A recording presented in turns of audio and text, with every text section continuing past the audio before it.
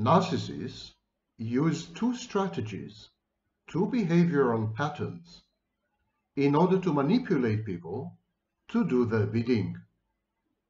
They either please people, cater to their needs, act as best friends, loving, compassionate, empathic. It's all, of course, a fake, feigned simulation, but it's still people-pleasing behavior, emulates real people pleasers, or they terrorize people. Today we're going to focus on people pleasing. Now, just to make clear, the majority of people pleasers are not narcissists.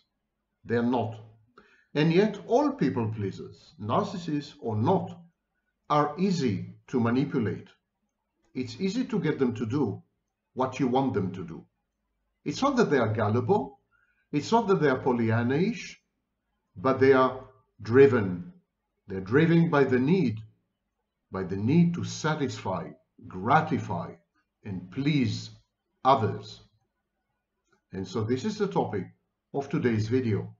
Three steps to manipulate a people pleaser. As evil a title as I could come up with. and apropos evil, my name is Sam Vaknin and I'm the author of Malignant Self-Love, Narcissism Revisited, the first book ever on narcissistic abuse, and a professor of clinical psychology, which pleases me no end. okay, Shoshanim, Shvanpanim, Kapzonim, etc., etc.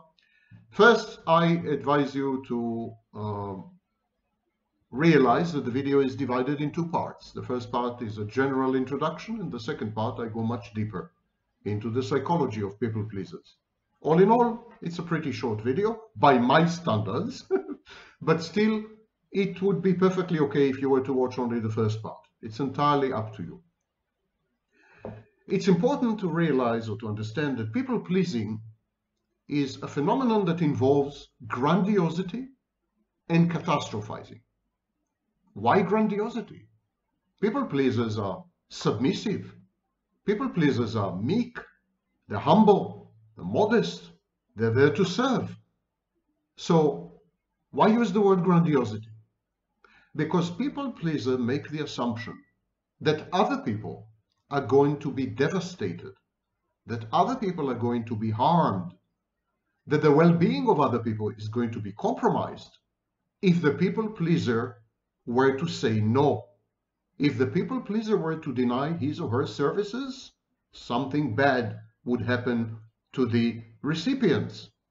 So there is this grandiosity, this hidden message or hidden assumption that you as a people pleaser you hold the well-being, the internal regulation, the moods and the emotions of other people in your hands. You're in charge. You're in charge of other people being happy. You're in charge of other people's happiness. Now that's as grandiose a statement as I've ever heard. And the people pleaser's message is, I am that important to other people's lives I am that crucial to other people's well-being that I really must perform. I must do my bit. I must contribute. I must please. So this is the grandiosity part. The second part has to do with catastrophizing. Again, there's a, an occult hidden message, hidden assumption. And that is, the people pleaser tells himself or herself, if I were to say no, there would be disastrous consequences to me, especially emotionally, but maybe also in other ways. I may end up making enemies and there will be disastrous consequences to others who could have benefited from my actions, choices, and decisions. So this assumption, this underlying assumption, that where the people pleaser ceases to be a people pleaser, where the people pleaser stop pleasing other people, some disastrous, cataclysmic, apocalyptic consequences would follow. This is, of course, catastrophizing, a cognitive distortion. Grandiosity is also a cognitive distortion. So we can generalize and say that the people pleaser pleaser's mind is cognitively distorted. The reality testing of a people pleaser is all shot, impaired. He doesn't or she doesn't grasp reality appropriately. The people pleaser gra grasps reality or perceives reality in a way that elevates the people pleaser into a position of power on the one hand, and by doing so, renders the people pleaser responsible for other people's happiness, other people's well being, other people's gratification, and other people's accomplishments. This is where the people pleaser uh, positions himself or herself. It's a choice, actually. It's a choice that's emotionally gratifying, anxiety reducing, and self aggrandizing. There are automatic thoughts at the core of the people pleaser. People pleasing involves what is known in cognitive behavior therapy as ANTs, automatic thoughts, not necessarily negative. Most people pleasers have been parentified as children. When they were young, they were forced to act in the role of a parent, even to their own parents. They fathered the father, they mothered the mother. They were the adults in the room as children. They were never allowed, allowed to experience childhood. They were never, they were never inducted into a trajectory of healthy self-growth and self-development. They were playing a role from the very inception of life. People-pleasing, therefore, is a role-playing thing. It has to do with role-playing and role theory. But these automatic thoughts, which are at the core of people-pleasing, among, especially among parentifying children, are the following. Number one, my happiness is always at someone else's expense. It's a zero-sum game. If I'm happy, that's because I've made someone else unhappy. Or it's because I could have made someone else happy and did not. Number two, I have to earn my happiness. I don't deserve it. I have to work hard. I have to justify any gratification, any gift, any re receiving, any, whenever I take something, whenever I seek to be happy or content, I have to work hard to justify this. I don't deserve this automatically. It's because maybe I'm not lovable, or maybe because I'm a failure making other people happy, or maybe because my destiny and my mission in life is to make other people happy, and any minute that I spend on myself is a dereliction of duty. Whatever the reason may be, there is this self-perception that happiness is not out there for the taking, but has to be somehow gained, somehow earned. Number three, I have to somehow bribe people to stay with me, collaborate with me, help me, and tolerate me. Because I'm not lovable, or because I'm a freak, or because I'm a difficult person, or because I'm unique, even positively unique, but in any case, I'm an exception. I'm an outlier.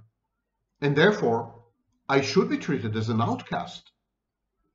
And so when people agree to be with me, spend time with me, when they agree to socialize with me, let alone become friends or in a couple, when they agree to work with me, help me, I should be grateful.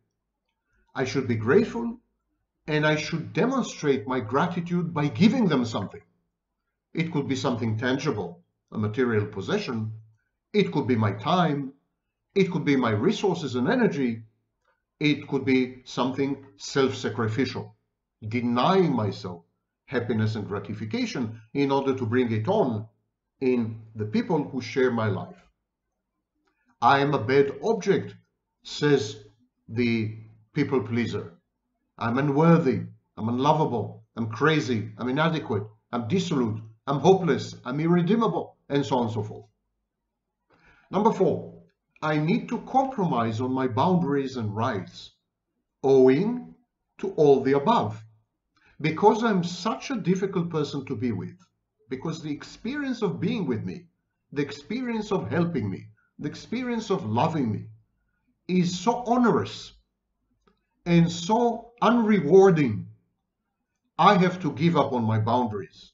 I have to compromise on my rights. I have to be easygoing. I have to accept. I have to be submissive. Why all that?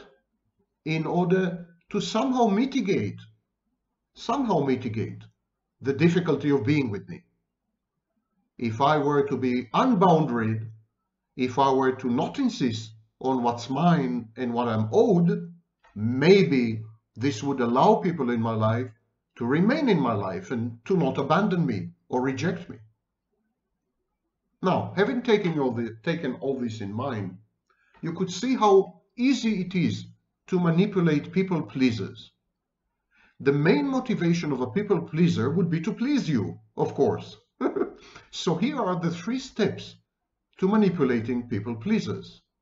All you have to do is this. Number one, communicate your expectations, either overtly, explicitly, and verbally, or behaviorally with body language, micro expressions, and so on. Either way, make clear and make sure that the people pleaser has understood what is expected of him or her. Your expectations become the rule. Your expectations rule. And so they must be gratified, they must be met, and they must be actualized. Number two, communicate pleasure when your expectations are met, but don't overdo it. Always leave place for more. Render the process inexorable, unattainable. Be pleased, demonstrate that you're happy and content and gratified, but do it in a way that sows doubt in the people pleaser's mind whether he or she have done enough for you.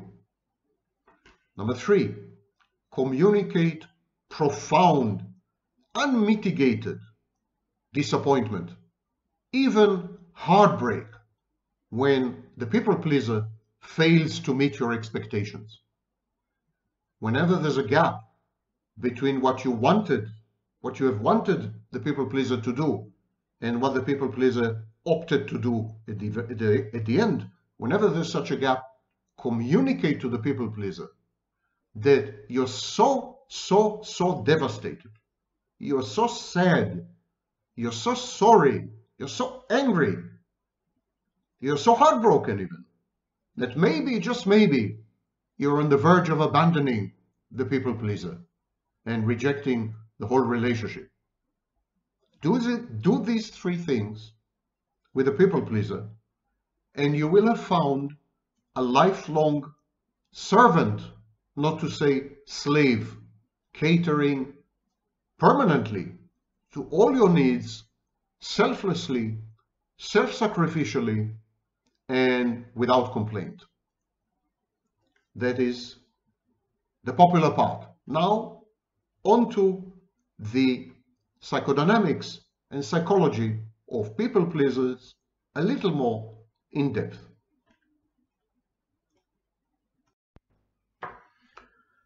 Yes, I'm alive. I survived the Trump video. You didn't get to me. You're going to make more videos. My name is Sam Vaknin.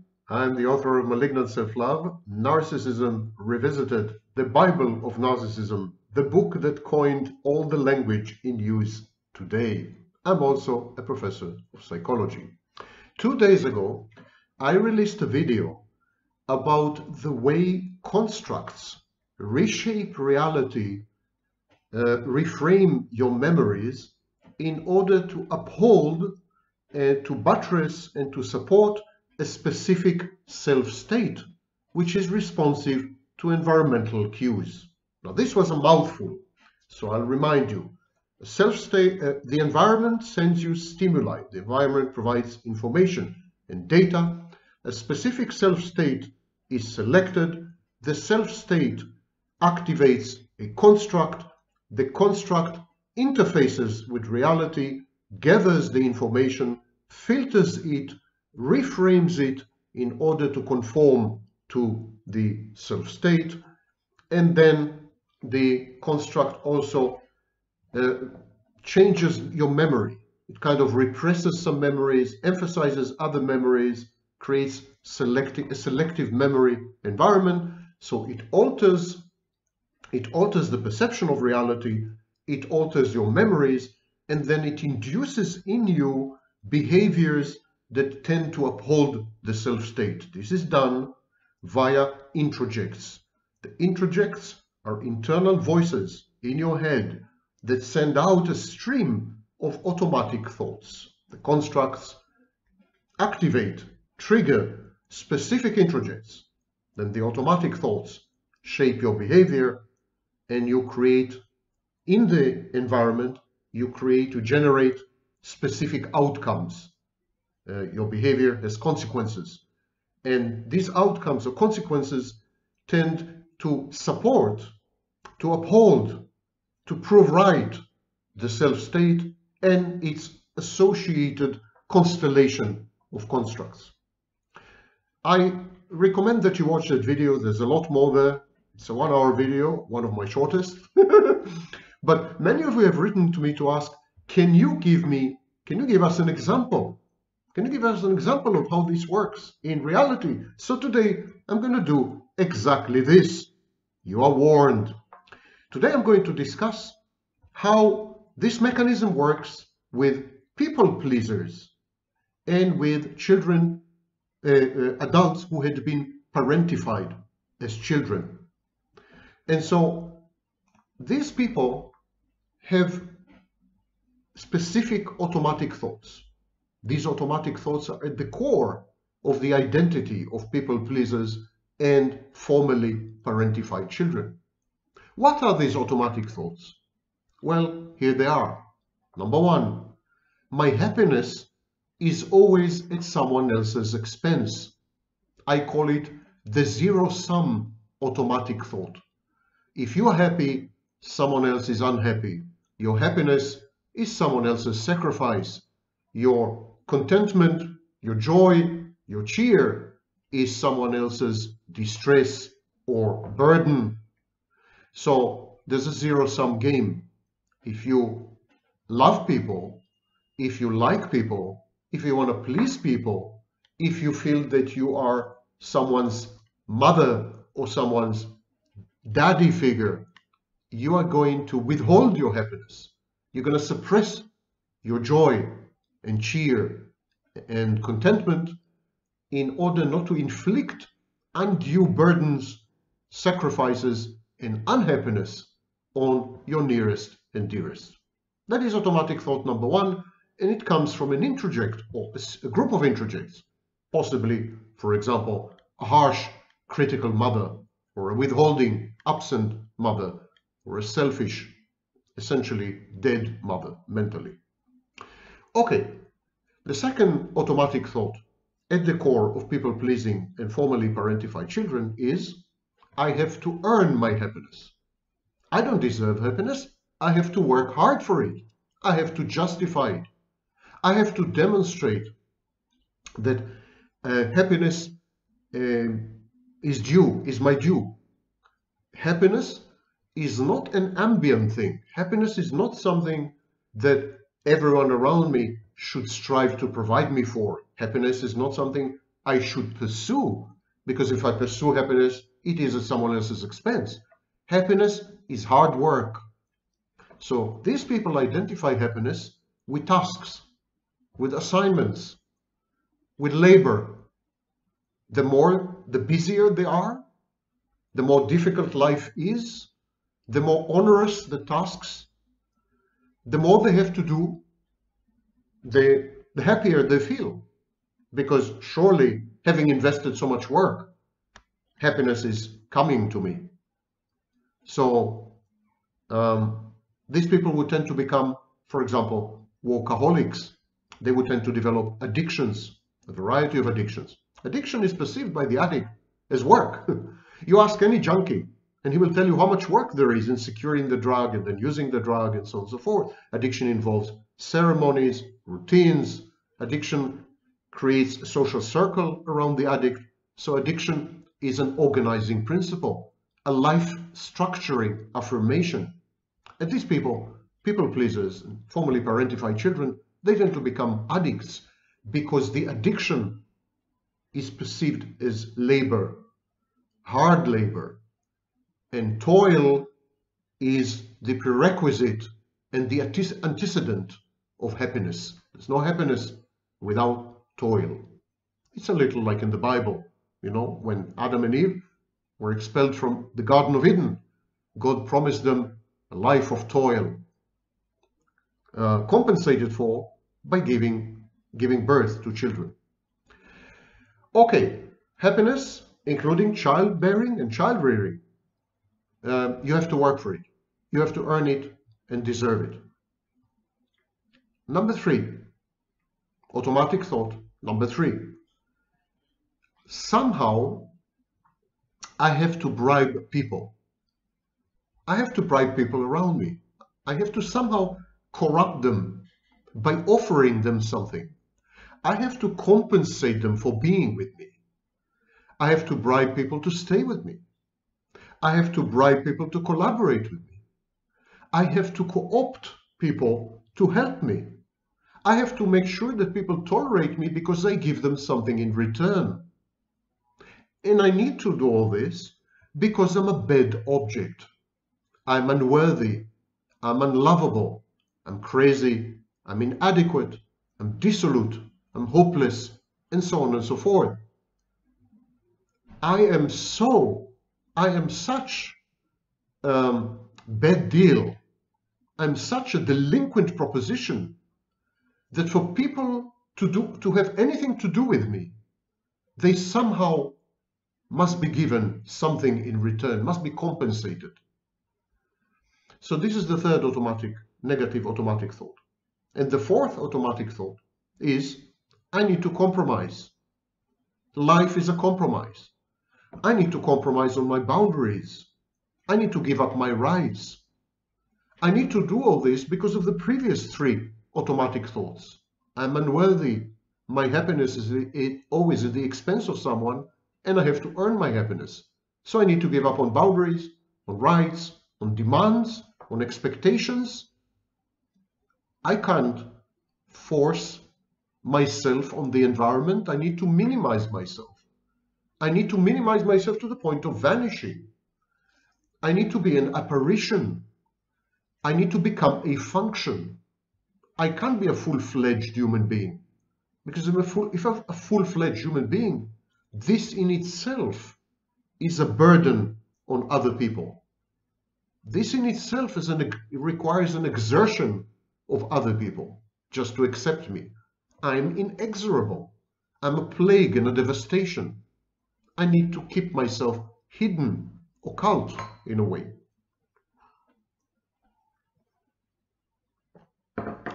These are the automatic thoughts at the core of people pleasing, at the core of formally parentified children. And these automatic thoughts pervade all areas of life, all types of functioning, all acts, all decisions and choices, all cognitions, and all emotions. In sex, for example, someone with this mindset would allow her partner to do anything to her, even a casual partner, even a total stranger. She would have no boundaries. She would let him anything, uh, do anything he pleases.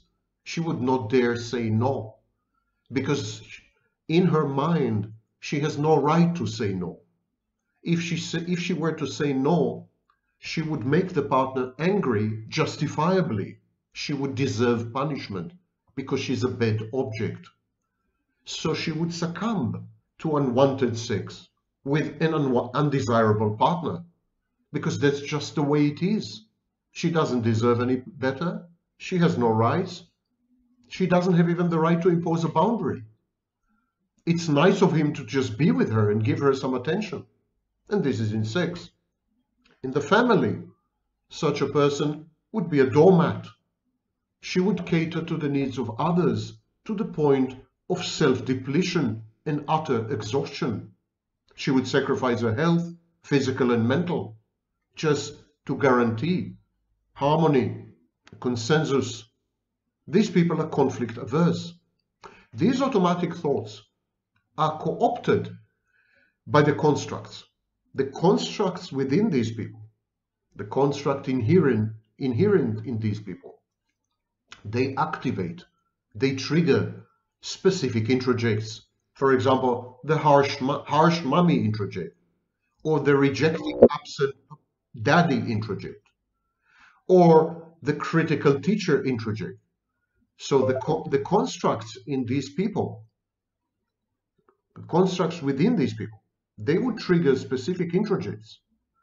And these introjects will spew out, will generate the aforementioned four automatic thoughts. So the constructs activate the introjects. The introjects begin to generate automatic thoughts. Your happiness is at someone else's expense. You have to earn your happiness. You don't deserve it. You have to bribe, bribe people to stay with you, collaborate with you, help you, or tolerate you. And you need to compromise on your boundaries and rights. These are the automatic thoughts. The constructs latch onto these automatic thoughts, appropriate them, snatch them, and they use them to manipulate the environment, the behavior. I'm sorry. They use these automatic thoughts generated by the introjects. The constructs use them to manipulate or affect the behaviors of the people pleaser and the formerly parentified child. People pleasing and formerly parentified child, these are the self states. So the people pleaser has a people pleasing self states, self state, which then uses a group of constructs, which then activate specific introjects, which, gen, with, which then generate the automatic thoughts, which then affect the behaviors of the people pleaser and the formerly parentified child. I hope it's a bit clearer now. You can apply it to every situation and every person you've ever met. This is a universal model, a self-state responsive to, to the environment, a self-state responsive to circumstances, self-state responsive to other people. This self-state selects constructs. Constructs are ways of organizing the world. Constructs are ways of imbuing the world with sense and meaning, interpreting the world, explaining what's happening. So the constructs falsify memory, reframe memory, and they also suppress lots of information, information that conflicts with the self-state, challenges the self-state, will be filtered out the construct is like a membrane. And then these constructs would affect your behavior, affect the behavior of these people to conform to the self-state. They do this by activating introjects and flooding the subject, flooding the person with automatic thoughts. Automatic thoughts affect behavior, behavior affects reality, reality conforms to the self-state, everyone is happy, there's no dissonance, no conflict, no anxiety. This is how things work. So next time you come across a people pleaser, next time you come across a promiscuous person who can't say no, next time you come across someone who has been parentified as a child and insists on being your mother or your father because that's the only thing they know how to how to do. Next time you come across these people, realize that these are self-states they have other self-states. When they are in the people-pleasing self-state, the promiscuous never say no self-state. The um, um, parentifying self-state, when they're in these self-states, they have specific constructs inside that activate specific introjects, that flood them with automatic thoughts that they cannot resist. These automatic thoughts are like programming, like algorithms. At that moment, the self state takes over and the person becomes a puppet, a machine, a robot, a computer. We spend most of our lives in this automatic state, which is why many philosophers and psychologists and neuroscientists doubt the existence of free will. I have a video dedicated to this. Be forgiving, because people know not, know not what they are doing.